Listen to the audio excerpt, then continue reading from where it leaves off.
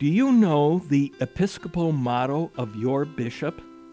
Hello, I'm Father James Kubicki, and last month I participated in the installation of a new bishop. In the program, they had a picture of his coat of arms, half of which has the coat of arms of the diocese, and the other half of which has his personal coat of arms. Then, underneath the shield is the motto that the bishop chose.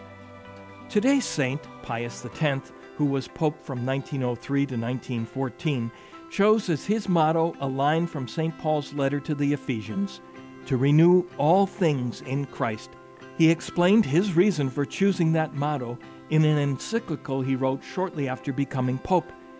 He asked, Who can fail to see that society is at present, more than in any past age, suffering from a terrible and deep rooted malady which, developing every day and eating into its inmost being, is dragging it to its destruction?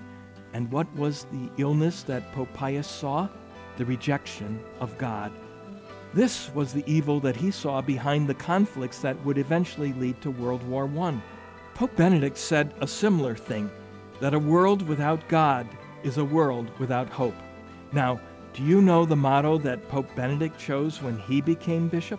It's in a line from John's third letter, verse 8, where it's translated, co workers in the truth. It shouldn't surprise you that Pope Benedict's first encyclical is called Charity in Truth. God is love and truth, and his servants, Pope Pius X a hundred years ago, and Pope Benedict, were co workers in the truth, without which there will be no peace.